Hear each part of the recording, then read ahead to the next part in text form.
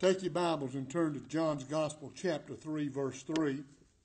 And uh, as you turn there, I want to bring to you a message that basically deals with the assurance of salvation. You know, a lot of times in life, you ask somebody about their salvation, and you'll say, Well, are you saved? Do you know that you know if something were to happen to you today that heaven would be your home? And you'll hear this many times. Well, I hope so. I hope so. And, uh, you know, I try not to be very critical of uh, people who make that statement to me, especially if they're a lot older than I am, uh, because uh, they come up in a time whenever hope was, the basic word hope had a different meaning. Uh, how many of you remember folks using the word hope for help? Anybody? Uh, my granddaddy used to say whenever he was getting ready to crop uh, the crops that he was growing. He said, I got to go find me some hope. And of course, I was a young feller, and I said, Granddaddy, don't you mean help? He said, Well, that, that's the same difference. But, uh, but anyway, uh, I want to talk to you about the assurance of your salvation. I want to bring to you a message that I've titled, How Can I Be Sure That I Am Saved? How can I be sure that I am saved. Notice, if you will, John's Gospel, chapter 3, uh, a portion of verse 3. I want to start where Jesus is speaking in the red.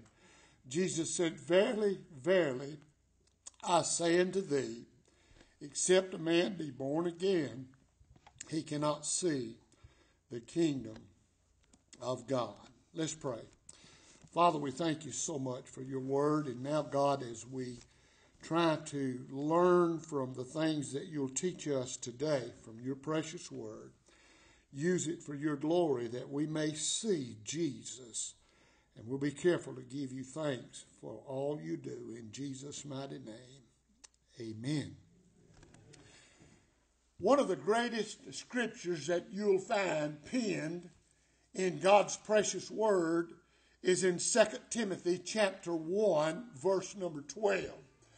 And I'm going to share that scripture with you, and I hope that as you hear the wording of this scripture, that it may speak to your heart as you think about the assurance of your salvation. Someone has asked the question, How can I know, preacher, that I'm saved? Well, I think that Paul gives us a prime example of knowing in this particular verse of Scripture. In 2 Timothy chapter 1 verse 12, Paul said, For I know in whom I have believed. He didn't say, I think I know in whom I believe. He said, I know, I know in whom I have believed. And then listen to what he said. He said, And I am persuaded that he is able to keep that which I've committed unto him against that day. Against what day? Against the day of death. Against the day of dying. I, I know that he's able to keep that which I've committed unto him. Friend, the Lord God committed unto us his only begotten Son to die on the cross of Calvary. And when the Spirit of God began to draw you by faith to himself, and you were saved by the grace of God, he instilled into you that you too can be persuaded that God is able to keep that which uh, he's that you've committed unto Him. And if you've committed yourself to the Lord Jesus Christ, uh, my friend, then you are saved by the grace of God. But I want us to be very careful whenever I use that statement. Because today, thousands of nominal, what we'll call nominal Christians, show no signs whatsoever of being born again. Uh, they show no signs of what the Scripture teaches us about being born again. Now, you know, God, God help me not to be judgmental in what I'm about to preach to you because God knows that I am not anyone's judge. God is our judge. But the Bible does teach me that we can inspect fruit. We can be a fruit inspector. Now, whenever I use that term, Jesus said, By their fruits you shall know them. And so, whenever I begin to preach a message like this, and I mention nominal Christians, that you can't tell them from the world. We're living in sad times. I want to give you several things that God has shown me, basically from the first epistle of John. I wanted to use this scripture where Jesus said, You must be born again as a text, but we'll be going to several other places in the scripture as I bring to you the message that God has shown to me. Now, I want to give to you uh, four or either five things. Uh, that can basically let you know where you stand with God, let you know whether you're saved or not. First of all, you're saved if there is no habitual sinning in your life. You're saved if there is no habitual sinning in your life. When I preach, you got to be careful whenever you say that to me because the Bible says all have sinned and come short of the glory of God. Well, that's very true. We all have sinned and we've come short of the glory of God. But you need to understand that when you were saved by the grace of God, that God did a work in you. And He took away some of those things that you used to love to be involved in, and you're not involved in those things anymore. And so when you're saved by the grace of God, then you're not a habitual sinner. Now, that word habitual comes from a word that means having a constant habit to do so. You just continue to do the things that you know that's not pleasing in the sight of God. Listen to the words that John wrote in 1 John chapter 3 verse number 9. John said this. He said, "Whosoever is born of God doth not commit sin. Whosoever is born of God doth not commit sin. And again in 1 John 5 18, he said this He said, Whosoever is born of God sinneth not. He sinneth not. So a person who has been born again by the power of God, a person who has been regenerated by Almighty God, does not habitually commit sin. He no longer sins with his heart, and his whole inclination of living has been changed completely. I've never, ever done anything wrong after being saved by the grace of God that the Spirit of God did not convict me of it. I've never, ever done anything wrong after being saved by the grace of God that the Spirit of God did not convict me of it. Now, John also said, My little children, I would that you sin not. And that's what, what, God would have for us to do, is not to sin. But he went on to say, But if you do, that you have an advocate with the Father, Jesus Christ the righteous. I'm not trying to tell you that once you're saved by the grace of God, that you're going to be a perfect person.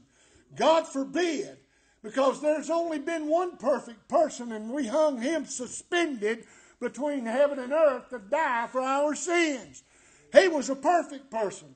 When you get saved, it doesn't mean that you're going to be perfect in all that you do, but it does mean that you're going to begin to strive to be perfect. You're going to begin to strive to be perfect, and you're not going to habitually sin. God help us today as children of God not to fall into habitual sin. Because if we do, then we might need to examine our salvation experience. Number two, you know that you're saved because you believe in the Lord Jesus Christ. Now, that word believe comes from a word that simply means to have confidence in or to trust in completely the existence of, the real, re, reliability. Boy, my speech impediment like to got me then. The reliability of someone. Uh, relying on someone. Believing in the Lord Jesus Christ. Now, uh, 1 John 5 1, listen to what John wrote here. He said, Whosoever believeth that Jesus Christ is born of God. Whosoever believeth that Jesus is the Christ is born of God.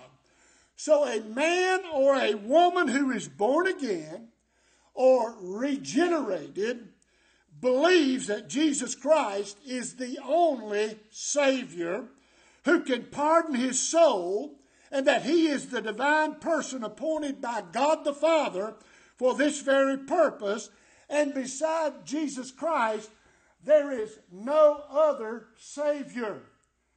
Now, don't misunderstand me whenever I say this because uh, our world today wants us to be tolerant of everything. Did you hear me? Our world today wants us to be tolerant of everything. We've had other religions and, and other movements to move into to even our land today, and we're told that we need to be tolerant. Now, you got to be careful with that word tolerance. Don't misunderstand me. I would never do anything to hurt anybody's feelings. I love everybody, even everybody that's a little bit different than I am, as my wife taught well this morning. I, I love everybody. And everybody, even those who may be a little bit different than I am. But let me tell you something. I will never say, as long as I live, that there's more doors to get into heaven than Jesus. Jesus said, I am the door. And by me, if men enter in, he'll go in and out and find pasture. Bless God, you can't find pasture outside of Jesus. He is the way, He is the truth, and He is the life. So you know that you're saved if you believe that Jesus is the Christ and that He is the only door to heaven. Jesus said, I am the way, I am the truth, and I am the life.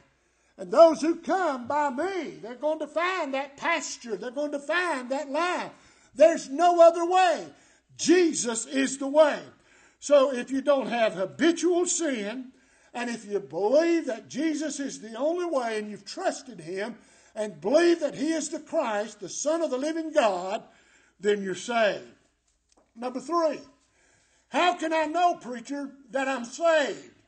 Well, you know that you're saved, thirdly, by practicing righteousness. Now, listen to me. That word practice is a good word. Have you ever heard the terminology practice makes perfect? Anybody ever heard that? I think that we all have. Uh, my oldest son is a uh, baseball coach, and he practices with his team but hadn't made them perfect yet. but he practices with his team every day, especially the days before they have a game. He practices with them. You see, one of the things that you and I need to do is realize that we need to practice righteousness. What does that word practice mean? It means to carry out or to perform righteousness. Listen to what John wrote in 1 John chapter 2, verse 29. John said, Everyone that doeth right is born of him. Everyone that doeth right is born of him. So the man that is born again, the man that is regenerated, the woman that is born again, the woman that is regenerated, you're either a holy man or a holy woman. Now, I know some of you probably say, well, there's nothing holy about me. Well, if you got Jesus in your heart, there's a bunch holy, holy, holy about you. Amen? Christ in you is holy. Christ is holy. You see, a holy man or woman endeavors to love according to God's will. How did God love? He loved with an unconditional love. He loves you in spite of yourself. He loves you if you look good. He loves you. He loves you if you ugly. He loves you. He loves you if you're rich. He loves you. He loves you if you're poor. He loves you. He loves you if your bricks are one shy of a full load. He loves you. He loves you in spite of yourself. That's the kind of love that our God has for all people. I know some of you laughing about that one brick statement. He loves me. Amen. Hey, I mean, you know, I'm glad that he loves me. He endeavors to love. A, a, man of God who's been saved by the grace of God endeavors to love according to God's will, to do the things that please God, and to avoid the things that God hates. You mean God hates? Well, go to the book of Proverbs. He'll give you a list of the things that he hates. Okay? And you'll find out what those are. But God wants us to love. Jesus said, Greater love hath no man than this, than a man lay down his life for his friends. And then he said, Ye are my friends. And he laid down his life and died for us. We ought to love one another so much that we would be willing to die for one another. Jesus loved us that much. That is unconditional. I think the word for it is agape love. That means I'm going to love you in spite of yourself. Amen? You know that you're saved when you are practicing that kind of righteousness, that you love the brethren. Now, that goes right into the, the, the next point. Number four, you know that you're saved if you love other Christians. Now, that doesn't say you know that you're saved if you love other Christians, if they agree with everything that you want to do. You see, there's a lot of times that, that uh, we may not be on the same page. Somebody might be on a different page. Somebody else may have a different theory or a different idea. Uh, today I decided to wear green. I know it's not St. Patrick's Day, but I like green every now and then. And somebody else may say, Why is our preacher wearing green today? He'd look better in blue. Well, that's all right. I like green, okay? I mean, we all are not going to like the same thing. Uh, we're not. And, and most of the time, before we leave the house, I walk in and I'll say, honey, does this look all right? I didn't do that this morning because I was scared of what she'd say. but I, I, uh, I, usually I'll walk in and I'll say, honey, does this look all right? And if I hear this, I'm not saying nothing. I know that I need to go change. I know that I need to go change. See, because she didn't like it. She, she didn't like it. Uh, and, you know, I used to like snakeskin cowboy boots. I really did. She don't like them. So I don't wear them no more, all right? But I mean, listen, we all don't like the same thing. But listen to me. We got to love each other in spite of our differences. Again, you did very well this morning to go along with what I'm preaching in the children's sermon. Seeing others through the Lord's eyes. Seeing ourselves through the Lord's eyes. You see, whenever I begin to think about that word loving there, that word loving comes from a, a word that talks about being affectionate. God wants us to be affectionate toward other Christians. God wants us to be fond of other Christians. God wants us to be devoted to other Christians. God wants us to have feelings that causes us to demonstrate the love of Christ to other Christians. Well, preacher, how did he demonstrate that? God demonstrated his own love for us. While we were yet sinners, Christ died for us. And God wants us to demonstrate our love for one another. I mean, he does. Listen to what 1 John 3:14 says. John wrote this. He said, "We know that we have passed from death unto life, listen, because we love the brethren. You see, you know that you're saved if you love your brothers and sisters in Christ. You know that you're saved if you do that. And then, last of all, fifthly, you know that you're saved if you're overcoming the world. You know that you're saved if you're overcoming the world. Now, that word overcoming comes from a word that basically means to succeed in dealing with. We all have to deal with the world. We don't have to love where our world is and what our world is doing and the things that may be going on our or on in our world, but we still have to overcome those things that are going on in our world. Succeeding in dealing with our world, we have to master our world instead of allowing our world to master us. You see, the biggest problem with many today is they're allowing their world to master them instead of them mastering their world. You've got to reach a place in your life as a child of God that you're going to conquer your world. You've got to reach a place in your life that you're going to defeat your world. Now, listen to me. Don't think you can do it by yourself because you can't. That's why you need to know that you're saved by the grace of God. So that you can overcome the world. Listen to what John wrote in 1 John 5, verse 4. John wrote, Whosoever is born of God overcometh the world. Whosoever born is born of God overcometh the world. Now listen to me, church. The world's going to throw some stuff out at you from time to time. It really is. I know a lot of you may have trouble riding by those lottery signs whenever it says 457 million. You see, whenever you pass that by and say, I'm not going to spend my money and waste my money on such, you're overcoming the world.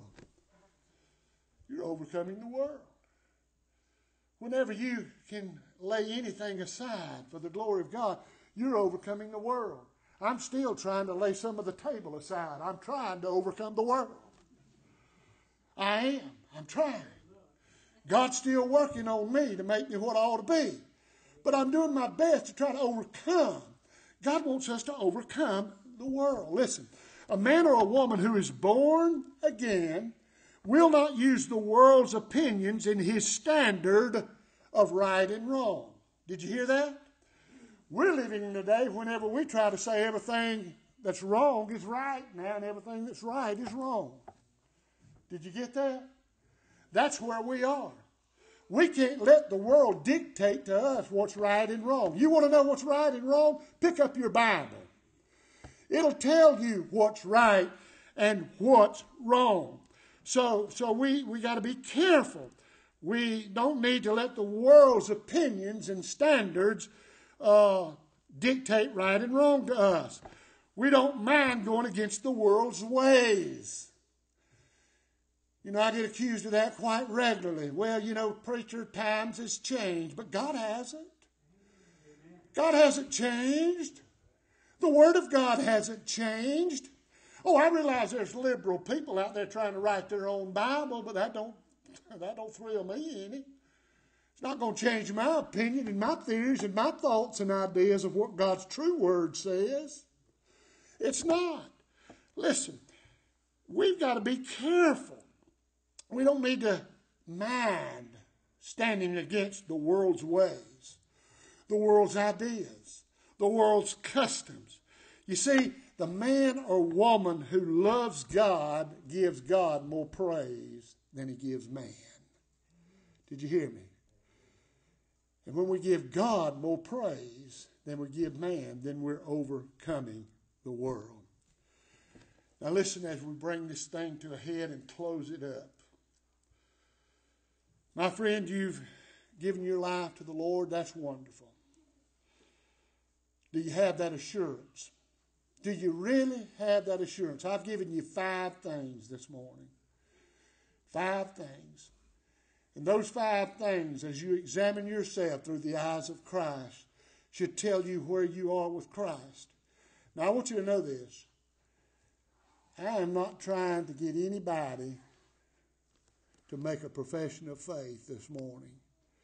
But I do want you to examine your heart and examine your life with these five things that I've given to you, and then you choose where you are with the Lord.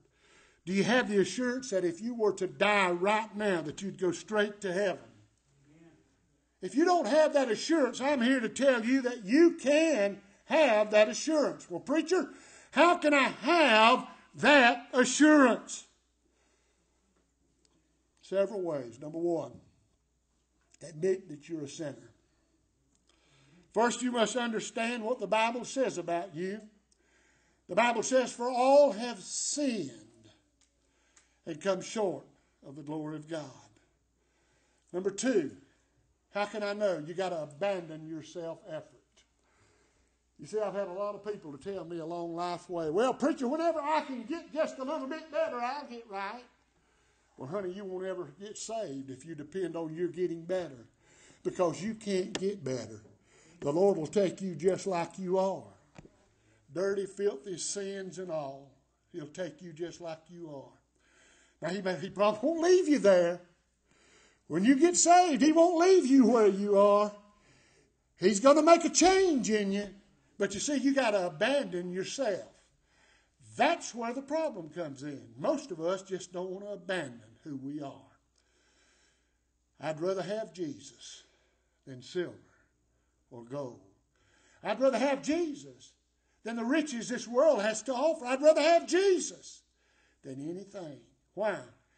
Because he that lays his treasures up in heaven is rich indeed. What I need to do? Well, you need to acknowledge the payment. Jesus paid it all. All to him I owe. And when you acknowledge the payment, that Jesus paid it all, then all you've got to do is open your heart and accept Him as Savior of your life. Not only as Savior, but then you've got to make Him Lord. And when you make Him Lord, you can begin to sing. I heard an old, old story. Oh, victory in Jesus, my Savior, forever. He sought me and He bought me with His redeeming blood. Very simple. Those are the only things that you'll need to do to be saved by the grace of God and to know that you're saved. Stand with me. Father, I've shared with your people that that you've given me. Use it now for your glory in Jesus' name. Amen.